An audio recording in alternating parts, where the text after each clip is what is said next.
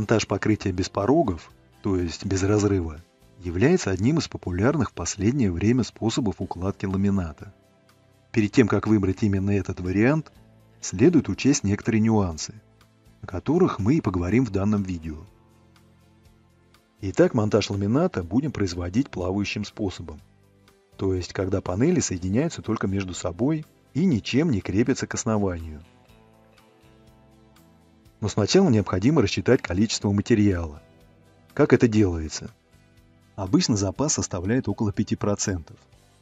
При стандартной укладке ламината с хаотичной разбежкой доски на площадь прямоугольной комнаты до 15-17 квадратных метров необходим запас не менее 1 квадратного метра.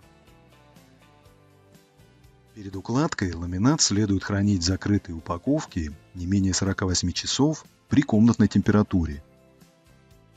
Ламинат должен храниться в горизонтальном положении в помещении, где будет производиться его укладка.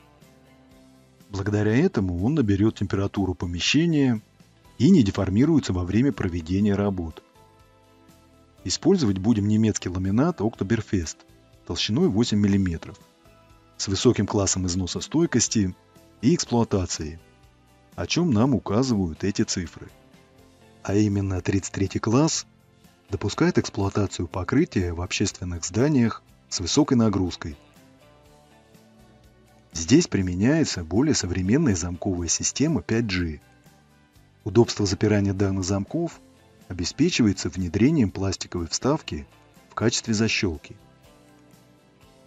Напольное покрытие с этим видом стыковки собирается по одной планке. При таком варианте сборку можно осуществлять в одиночку.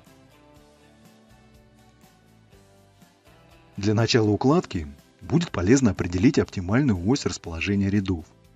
Дело в том, что очень редко стены всей квартиры взаимопараллельны и перпендикулярны друг другу. Другими словами, нет идеальной геометрии.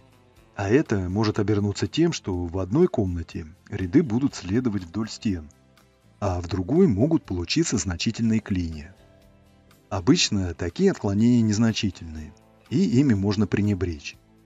В любом случае найти оптимальную ось может помочь лазерный уровень. Она и будет служить нашим ориентиром. Допустимая неровность пола при укладке ламината не должна превышать 2 мм на каждые 2 квадратных метра площади поверхности. Так как основание у нас неровное, укладку ламината будем производить на линолеум, поверх которого расстелим 2-мм синтетическую подложку из вспененного полиэтилена. При некоторой неровности поверхности подкладка в 2 мм способна нивелировать незначительные перепады основания за счет собственной усадки в бугорках. Также подложка под ламинат способна придать дополнительную амортизацию полу, выполнять функцию шумоизоляции и влагозащиты покрытия от возможного конденсата. К тому же и сам линолеум послужит дополнительной шумоизоляцией.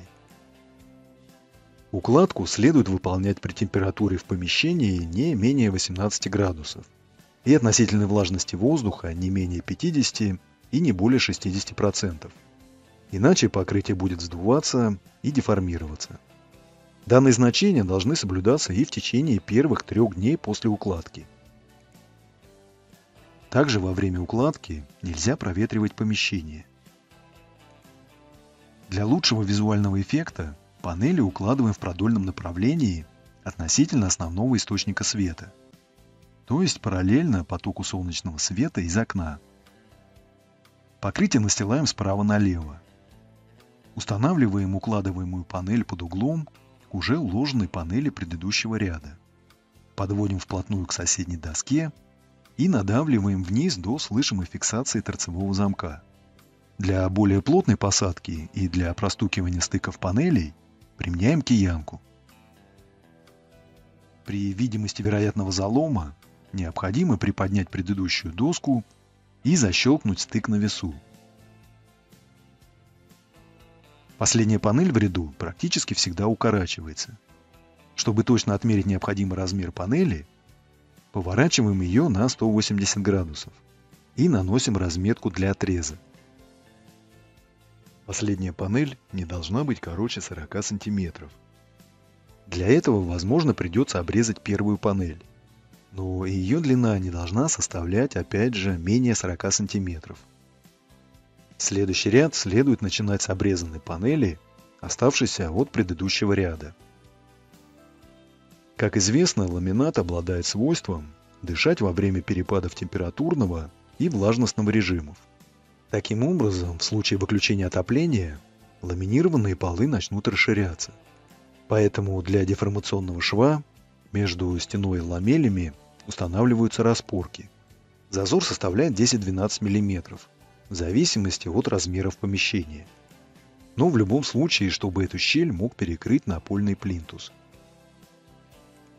Следует обратить внимание на подгонку ламината под стык обналичника – Наличник двери не всегда закрывает деформационный шов. Поэтому для правильной подгонки в таких местах зазор следует уменьшить. Для того, чтобы защитить деформационный зазор, после монтажа всех панелей устанавливается плинтус. Если же вы планируете прятать под плинтус провода и другие коммуникации, то рекомендуется использовать модели плинтусов со специальными каналами. Плинтусы следует закреплять только на стене, а не на полу. Монтаж креплений для плинтусов выполняется на расстоянии примерно 40-50 см. Для этого используем дюбель гвозди диаметром 6 мм и качественный электроинструмент. В нашем случае это компактный и мощный перфоратор с виброгасящей рукояткой и плавным пуском. Он позволяет сделать аккуратные отверстия, в которые устанавливаем дюбель гвозди.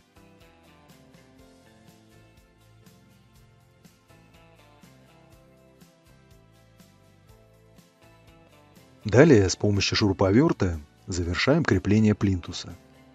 Кстати, наш шуруповерт обладает мощным бесщеточным двигателем с высоким крутящим моментом, а благодаря этому им можно производить и высокоскоростное сверление металла и дерева. Также он обладает встроенной яркой подсветкой рабочей области, что позволяет доработать в сумерках или закрутить саморез в темноте. Очень удобно и практично. Необходимо также знать, что если в помещениях, продольный размер которых составляет более 12 метров длины панели и поперечный размер более 8 метров, то в области дверей и в переходах между помещениями следует закладывать компенсационный зазор.